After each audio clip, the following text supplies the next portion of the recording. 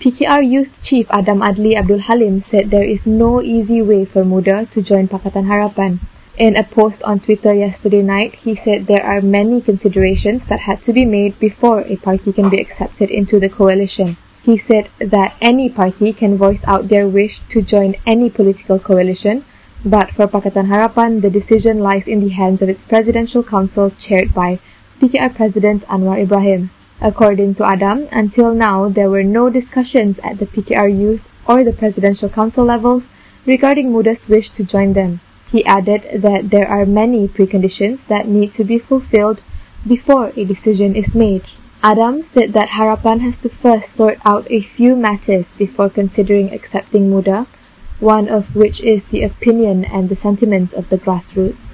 He also highlighted their past experience in the last two by-elections where there were ties made with parties that ended up rejecting Harapan. He said this, as well as demographic clashes, are elements that may affect the acceptance of other parties into the coalition.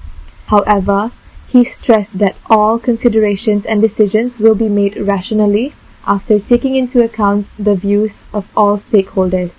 Earlier this week, Muda President Syed Saddiq Syed Abdul Rahman said the party was interested in joining Harapan to face the upcoming general election.